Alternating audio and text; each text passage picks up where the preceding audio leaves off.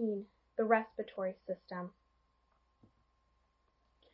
So for basic structure, the respiratory system is actually very similar to a tree if you inverted it um, and if it were totally hollow. So if you flipped a tree upside down, and the leaves of the tree would be comparable to the alveoli, um, which are the microscopic sacs that are enclosed by a capillary, by um, a bed of capillaries.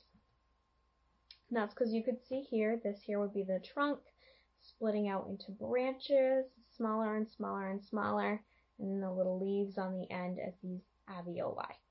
So that's just really to create a visual image to let you kind of be able to picture it in somebody. So diffusion is really the main purpose of your respiratory system, and that's the mode for which gas is exchanged um, from the air that you breathe into your circulatory system so that oxygen can be carried to your tissues. So your membrane mucosa, this is the membrane that lines the um, air distribution tubes of your respiratory system. And there's a ton of mucus that is produced each day. And this forms a mucus blanket, which covers your whole like lining of your respiratory system. So if you remember back, we talked about how mucus is important because it um, kind of creates like a lubrication and a softening of those tissues. And the other thing that it's important for, if you remember from our immune chapter, is non-specific immunity because that mucus is going to trap bacteria that you happen to breathe in so that you can then cough or sneeze it up and get it out of your body. So mucus serves as that air purification system, and not only for bacteria, but other irritants like dust or pollen. You also have cilia on your mucus cells. Cilia are little finger-like projections that are going to beat upwards in one direction, and that's to help keep mucus moving up towards um, the pharynx so that you can then cough or sneeze it out so that that mucus that's trapped, those irritants, can be expelled from your body. And that's just a picture here where you can see the tissue. It's a nice thick mucus layer up here. And these are your little your little cilia, those little fingers that are sticking out. So they're going to beat in one direction to try to um, expel all of that mucus that contains the irritants. So for your respiratory system, um, one of the first structures that we'll get to is the nose. And your nose is just the area where you're going to breathe in air. It has one of the biggest openings to the outside system. Your nose has a septum that divides your interior nose into two cavities. And this is a mucus lined um, cavity because remember mucus lines any cavity that's open to general air. Um, and one of the complications that can happen here is that you can develop um, nasal polyps, which are just non-cancerous growths that project out from the nasal mucosa. So what's the function of your nose? Well, it warms and moistens the air that you inhale so that by the time it reaches your lungs, it's more like of an ideal temperature and moisture level so it doesn't hurt your lungs. Um, and it also contains your sense of smell. So there you can see the sinuses which drain into your nose. So next, if we travel down, is your pharynx. Your pharynx, which is also known as your throat, is about five inches long. It's divided into three sections. There's your nasopharynx, your oropharynx, and, and your laryngeal pharynx, and those are ordered according to the structure that you're next to. So your um, the back of your nasal passage opens into your oropharynx. The back of your mouth or your nasopharynx, my apologies on that one. Um, the back of your mouth opens up into your oropharynx, and then your laryngopharynx is what they both kind of go down into right before your larynx. Um, like we said, both of your nasal cavities, your mouth, and even your esophagus and larynx, as well as your auditory tubes, all have openings into your pharynx. So the structure is that you have your pharyngeal tonsils, remember those from the immune chapter, that um, and the openings of your auditory tubes that both open up into your nasopharynx, and that's the part of your pharynx right behind your nose. Um, and then you have more tonsils that are found in your oropharynx. And then just like with your nose, it's a mucous membrane that lines this part of your respiratory system as well, and that's because we're dealing with air from the outside world. Anytime air from the outside world, it's a mucous membrane. And there you can just see the picture. So um, here you have your nasal cavity, and then you have your nasopharynx is back here. Your oral cavity is right here, and your oropharynx, and then down here would be your laryngopharynx because this would be your trachea and then this is your esophagus.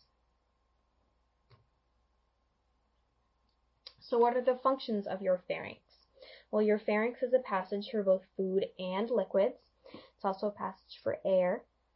And it contains your tonsils, which are those masses of lymphoid tissue that um, provide that first line of defense, that first line of immunity that we talked about in our immune chapter. Right after your pharynx is your larynx, hence the laryngopharynx. Um, the structure of this is, is, just below your pharynx, um, and this is the part of the body that they also refer, refer to as your voice box. This contains several pieces of cartilage that form a framework.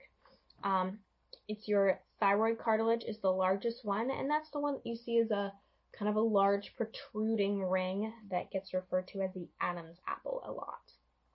It also has another piece of cartilage called the epiglottis, which partially covers the opening into the larynx. And the whole purpose of your epiglottis is it protects your larynx from food going down there. So this is also a mucus lined cavity because it's exposed to air, right? And your vocal cords stretch across the interior of your larynx. Um, and the space between your vocal cords is called the glottis. And the reason why they are there is that as air passes through them, it creates a vibration that comes out as a sound. So that's what makes your voice. So here you can see, um, this is your trachea here in the middle. These are your vocal cords right here, and that's your epiglottis. Your epiglottis will cover this when you're swallowing, but these vocal cords tense and relax to make noises as the air passes through them.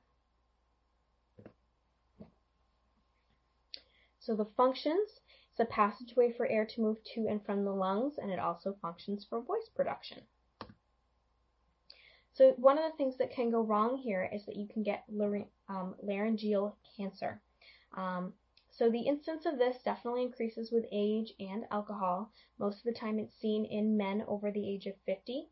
Um, and what it's normally causes or the signs that you see are a hoarseness in somebody's voice because they've lost some of their ability to adapt their vocal cords. And they also start to have a difficult time swallowing because it's stiff or they have a tumor there and so the epiglottis just doesn't cover your glottis as well. Sometimes what has to happen is your larynx actually has to be removed due to the extent of the cancer and that causes esophageal speech, which is basically when there's uh, an electric artificial larynx needed for speech. Um, also, people who oftentimes get this kind of cancer are those who have smoked or done chewing tobacco, something where there's another cancer causing agent in your mouth or in your throat. So moving down, um, or not really moving down, but continuing on with other problems that can happen with your upper respiratory tract, because so far we've just been covering a very high up upper portion of your respiratory tract. You can have rhinitis, so rhinitis is nasal inflammation, such as what you would get if you have a cold or flu or an allergy. So this can be a um, infectious, which would be if you have the cold or the flu, or it can just be an allergic reaction, which is just like making your nose run and become inflamed. Um, then you can also have pharyngitis. This is what the common sore throat is called. So it's either an infection or just inflammation of your pharynx. And then you could have laryngitis. Laryngitis is inflammation of the larynx, which results from infection or irritation of your um, of your larynx or of the vocal cords. Two other types that can happen here are that you can have epiglottitis, which is a swelling of your epiglottis. Now, this can actually become life threatening because your epiglottis blocks your um, your trachea when you swallow so that you don't um, breathe in food. But if your epiglottis becomes swollen and actually swells closed, it can actually occlude your airway. Um, or you can have croup, which is some in, inflammation in this area, but it's not life threatening. It doesn't occlude your airway. So, some anatomical problems that can happen. You can have a deviated septum, and that's when the septum that is abnormal, meaning that it's not centered on your mid sagittal plane, and that can either be congenital or acquired. It normally doesn't cause any problems. You can um, you can also have um, you can also have a bloody nose, which is called epistaxis. And that's either a result from a mechanical injury or hypertension in those nasal blood vessels or some other factor that has weakened the integrity of those blood vessels so that they start to bleed. So just below those, on the other side of your epiglottis, your vocal cords, you have your trachea. Your trachea is a tube, it's also referred to as your windpipe, and it extends from your larynx down into your thoracic cavity. This is also a mucus-lined tube, and it's created by these C-shaped rings of cartilage that hold your trachea open. And the reason why those are important are because there's a lot of air pressure changes there, and if it didn't have those cartilage rings to help keep it open, it would actually collapse with the pressure changes. So they just help keep the trachea's shape. And the function of your trachea is really just for air movement in and out of the lungs. And there you can see a picture where this is your mucus lining on the inside, down your trachea, and here you can see all those rings that are helping to keep its shape. So what happens when your trachea becomes obstructed? Well, a blockage of the trachea occludes the airway, um, and if it's complete and not addressed, it can actually cause death in minutes. And that's what we call choking. And choking causes more than 4,000 deaths every year in this country alone. And if you know somebody's choking, we do the Heimlich maneuver, which is also called abdominal thrusts. And this is a life saving technique that's used to create pressure below the trachea so that it actually forces whatever might be lodged in your trachea up and out. So if somebody has an issue with their trachea or an issue with their upper airway, what might need to be done is actually a tracheostomy. A tracheostomy is a surgical procedure where we put a tube through an incision um, in between the cartilage into somebody's trachea so that they can breathe past a blockage in their airway. So if somebody has, let's say they have some issues with their um, epiglottis, so now their epiglottis isn't working correctly and they can't pass air by it, we might need a trachea.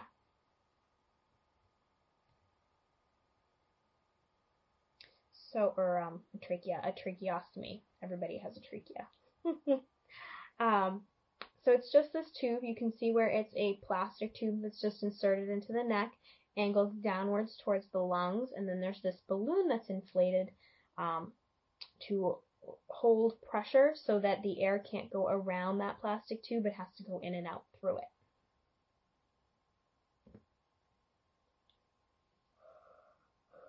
So the structure further down is that your trachea branches into right and left bronchi. So where it branches are the bronchi. Um, your right is the primary bronchus, and that's because it's more vertical and a bit larger around than your left. So if you aspirate something, aspirate means that it you breathe it in instead of it going down into your stomach. Um, oftentimes that is where it gets lodged in your right bronchus versus your left. Um, and each bronchus continues to branch into smaller and smaller tubes. Um, those are called your secondary bronchi. and eventually it leads to the bronchioles, which are even smaller. So kind of how your arteries and veins have arterioles and venules, your bronchus branch into bronchioles.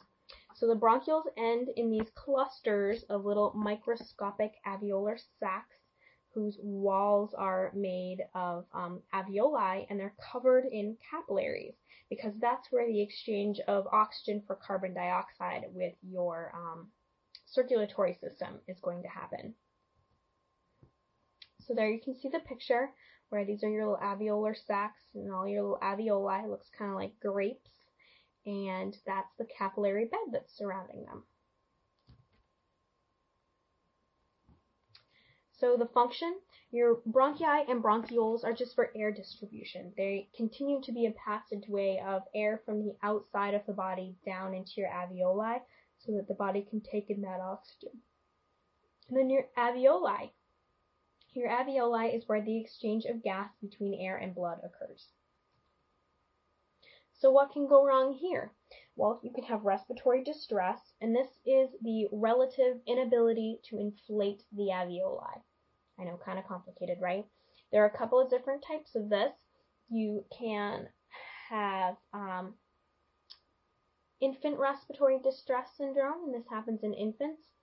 Um, and this is the leading cause of death in premature infants, and it's because they don't have an adequate amount of surfactant around their alveoli. And surfactant is, it reduces surface tension, so it helps keep those alveoli inflated. So they can't actually keep their own alveoli inflated, which causes them to collapse. And if they collapse, well, then they can't get air. And then you can have adult respiratory distress syndrome. Um, and, and this, there are a lot of different kinds of this, but one of the things that people think happen are that there is an impairment of the surfactant um, by inhalation of foreign substances or whatever condition the person has. And so their alveoli also collapse. So what happens when you can't inflate your alveoli is that it's sort of like you've had grapes and you've made them into raisins. And the surface area on those raisins is a lot smaller and it's not very effective for gas exchange. So now, even if you're physically breathing adequately, you can't exchange an adequate amount of, of um, oxygen for carbon dioxide. So you're basically going to end up ultimately starving your body of oxygen. So your lungs and the pleura cavity. So your lungs are large enough to fill the chest cavity except for that middle space where your heart and some of the very large vessels are located the apex of your um, of your lungs are the very narrow upper part. The apex is always the narrow part. So the apex of the heart is down, but the apex of the lungs are up. Where the lungs, the base is the very broad lower part, and that rests out on your diaphragm, which is also where the apex of your heart rests. So your heart and your lungs are a little bit, little backwards in that sense. And here you can see where your left lung is divided into an upper and a lower lobe, and your right lung is divided into a upper, middle, and lower lobe. So your pleura. Your pleura is a moist and smooth, very slippery membrane that's going to line your chest cavity and also covers the outer surface of your lungs and there's just a teeny bit of fluid in here. And what that does is it's actually used to reduce the friction between the lungs and the chest wall during breathing, during respiration, so that your lungs can expand and collapse back down when you breathe, and it doesn't cause any friction. It's what allows us to breathe easily and effectively. So this is just so that you can see, so here are the lungs, and there's the lining, that little pleural space, and then the lining of the cavity. And so those that little bit of pleural space where there's a little bit of fluid actually works to help stick those two lined surfaces together. So it's kind of like if if I have two pieces of glass and I put a drop of water between them, they stick together. I can slide them back and forth really easily, but I can't pull them apart. And that's how this works as well. It makes it so that when my chest cavity expands, it forces my lungs to expand as well. So, what can go wrong here? Well, you can have a pleurisy. Pleurisy is an inflammation of the pleura. So of that, that membrane lining around the, your lungs. Or you can have atelectasis. Atelectasis is an incomplete expansion or a total collapse of your alveoli. So that was kind of that grapes turning into raisins thing I was talking about. And then you can also have a pneumothorax or a hemothorax. Now this is not a subcategory of atelectasis. I just forgot to make the text bigger, I guess. Um, and this is when there's the presence of air in your pleural space. So why that is such a really big problem is that remember how I was just talking about how um, the little couple drops of liquid that are located between your two membranes sort of glue them together. Well, if I put air in there, now they're not glued together anymore. So now when my chest cavity expands, it's not going to trigger my lungs to expand as much because there's air in that space. So they're not glued together like they would be before. Or you can have a hemothorax. Hemothorax is when there is a presence of blood in that pleural space. Instead of just that kind of clear serous fluid or air, it's actually blood. So hemo, right? Hemo is blood. Hemothorax, blood in that pleural space. And that's just a picture here where you can see that that's a pneumothorax. And now there's air in this pleural space, which is actually caused this lung to collapse. Because remember how I said that if the lining of the, or the outer lining of the lung isn't glued to the inner lining of that cavity, it does not have to expand with it. So, now that we've covered some of the anatomy, let's cover respirations very briefly. So respirations are the mechanics of breathing. So pulmonary ventilation includes two separate phases. There's inspiration, which is the air moving into the lungs, and expiration, which is the movement of air out of the lungs. So, what causes what causes this is a change in size and shape of the thorax that causes a change in air pressure within the cavity and um, in the lungs because as the volume of the lung cavity changes, so does the lungs because as long as there's not a pneumothorax, they're kind of glued together and it's caused by a pressure change in the opposite direction. So if I expand my chest cavity, I've dropped the pressure in my lungs, which causes air to flood into them. Um, and, and air moves into or out of the lungs because of that pressure gradient. It wants to go to where there's the least amount of air pressure. So here you can see for inspiration, I've expanded my lungs, which means I've dropped the pressure. And for exhalation, I have um, contracted my lungs. I'm squeezing them, which is trying to force that air out. So how I do this is mainly by my diaphragm. So if I contract my diaphragm, my diaphragm is actually in this arched up shape, right? So if I contract my diaphragm, I drop it down, which actually reduces this pressure. If I relax my diaphragm, it recoils back up, squeezing up on my lungs just because that's where it normally wants to be, which increases this pressure and pushes the air out. So inspiration is actually the active process. So that's when my muscles increase the volume of my thorax, which means that they're contracting and making the thorax cavity bigger, which I know is kind of hard to think about muscles contracting to make the cavity bigger, but it's just because when it contracts, it pulls downward. So it decreases the lung pressure and causes air from the atmosphere to flow into my lungs. Um, so your inspiratory muscles are that diaphragm because it flattens, or you have your external intercostals. So these are some muscles that are located in between your ribs and when they contract, they actually increase the, the size of your, they kind of pull your ribs out, which increases the size of your thorax cavity, dropping the pressure inside and causing air to flow in. Now for expiration, we want to reduce the size of our thoracic cavity. So to do that, we're going to relax our diaphragm, which is going to cause it to push up on our lungs because that elastic coil is very elastic tissue. So in inhalation actually stretches the elastic. Expiration just relaxes it and lets it kind of spring back to the smaller shape that it wants to be in. And that increase in pressure actually pushes the air out because our, our thorax, our chest cavity is just returning to its resting size and shape. Um, we do have some muscles that can help here as well though, um, in case we need a little extra help with that exhalation. We have our internal intercostals, which are just to the inside of our external intercostals, which are used for inhalation. And when those muscles contract, they just squeeze in. So they make our rib cage get smaller and decrease the size of our thorax. Or your abdominal muscles. If you squeeze your abdominal muscles, you're going to push up on your diaphragm, decreasing the size of your thoracic or your chest cavity even more.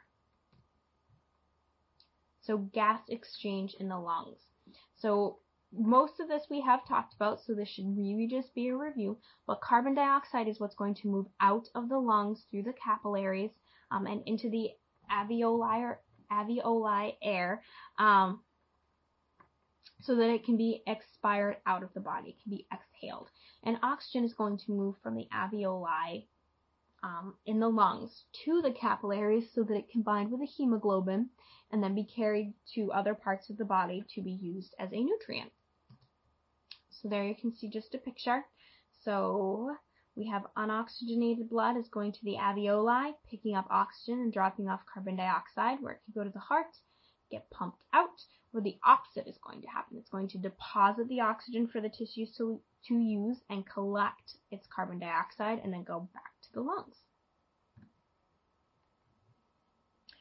So the exchange of gas in the tissues, just like we were saying, that oxyhemoglobin, which is just a hemoglobin that is bound with oxygen, is going to break down into oxygen and hemoglobin. That oxygen moves out of the tissue capillary bed and into the cells because the cells use it as a vital nutrient. And in exchange, it is going to pick up carbon dioxide, which is your tissue's waste product, combines with the carbon dioxide, um, so that it can carry it to the lungs so that it can be exhaled. So only a very small amount of blood is actually, or a small amount of oxygen is actually dissolved in the blood. Almost all of it combines with hemoglobin, forming oxyhemoglobin, and is carried around in the blood that way. Um, and same thing really with, with carbon dioxide for the most part.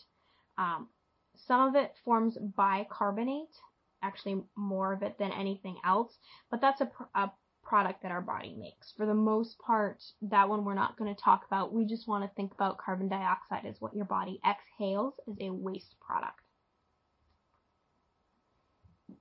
So the volumes of air exchange in the pulmonary ventilation. Um, this I don't expect you guys to know too too much about. You probably, unless you do a lot of work in a pulmonary office someday, won't have to know most of this. But just so that you know what these terms are, um, the volumes of of air that is exchanged, inhaled and then exhaled, can be measured using a spirometer. Tidal volume is the normal amount of air that we breathe in with every breath the vital capacity, so that's tidal volume is just average breaths. Um, vital capacity is the largest amount of air that somebody can breathe in with one ex or breathe um, breathe out with one expiration. So that is the absolutely largest amount of air. And your expiratory reserve is the difference between the two. So after I have um, breathed out my tidal volume. The difference between that and breathing out as much as I possibly can, that is my reserve volume. Then I can also go the other way and have an inspiratory reserve volume. So that's the amount of air that after my normal tidal volume, I can forcibly inhale. So after a normal breath, if I force more air in, that is my inspiratory reserve. And then finally, you have your residual volume, which is the amount that will remain in your lungs even after you force everything out. You can never actually just blow off everything in your lungs. There's always a little bit of reserve there.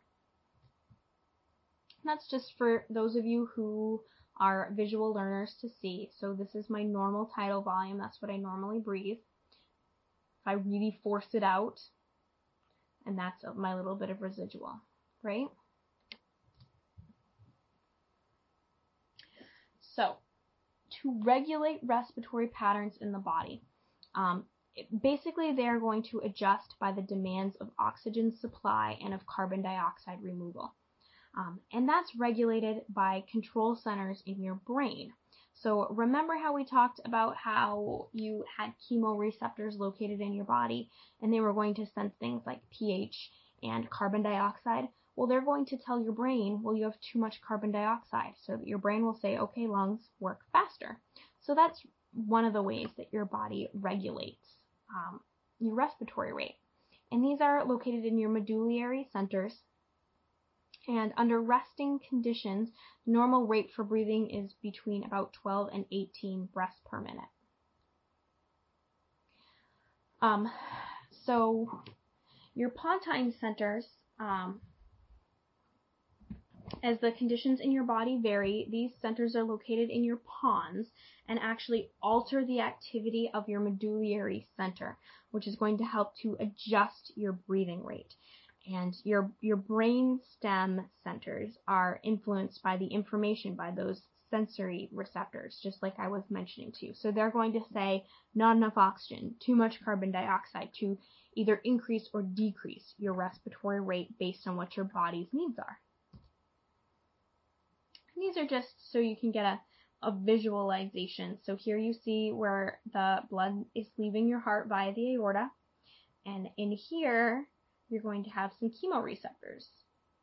And they transmit up to your brainstem so that your brainstem can then trigger respiratory rate. Because remember how from the neuro section I said that your your brainstem really does those like basic functions, the things that we just don't have any control over. Your brainstem saying, all right, um, heartbeat, keep breathing, that kind of stuff.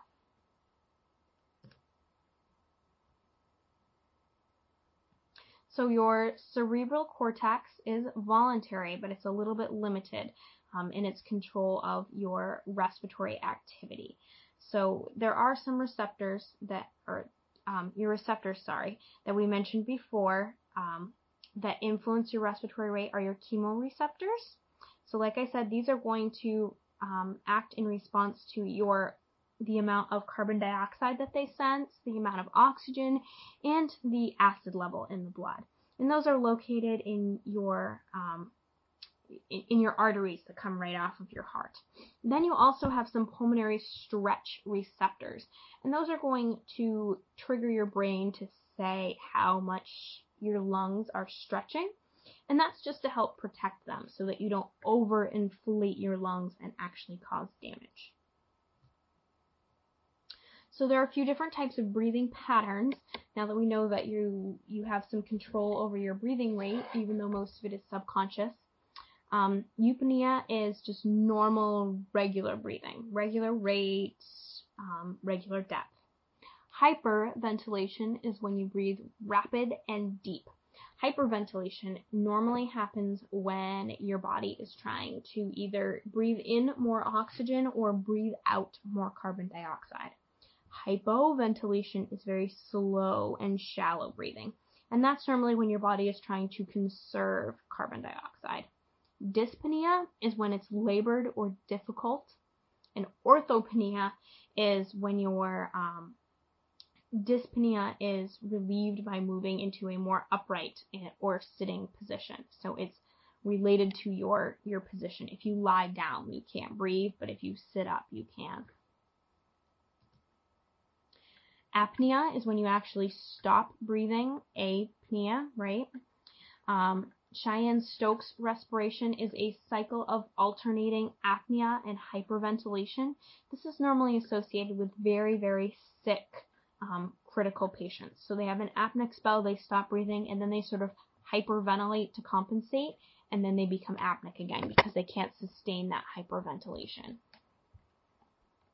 And then respiratory arrest. Respiratory arrest is when you fail to resume breathing again after a period of apnea.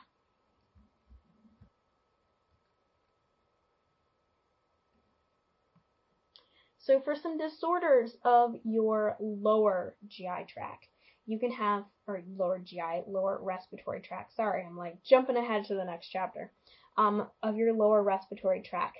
Um, you can have acute bronchitis, which is an inflammation of the bronchi, um, or the bronchi and the trachea.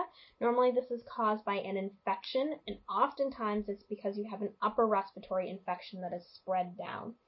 Another one would be pneumonia. Pneumonia is an acute infection in which the lung airways and the alveoli become plugged with very thick exudate. So it's like very, very thick, thick mucus. And it can actually plug up your respiratory system. Um, normally that's caused by an infection of either a bacteria, virus, or a fungi. And it's characterized by high fevers, chills, headaches, normally um, a very loud, loud cough that oftentimes starts to produce very, you can actually cough off that thick mucus, and oftentimes chest pain due to how, how intense their coughing is.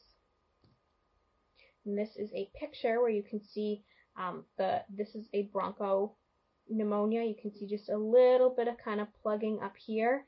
And then this is a, um, a lobar pneumonia. So remember how we looked at the pictures of the lung lobes earlier? So this would be the left, because remember the left is the one that's divided into just an upper and a lower lobe. And see how this whole lobe is just thick and plugged. So that's a lobar pneumonia. It's a pretty intense lobar pneumonia. So another disorder would be tuberculosis. Tuberculosis is chronic and very highly contagious lung infection. Um, and it's characterized by the tuberculosis um, in, in the lungs, and it can progress to actually in, involve other tissues um, outside of the lungs and the pleura. So basically, it's caused by inhaling or swallowing the droplets of the contaminated um, bacteria.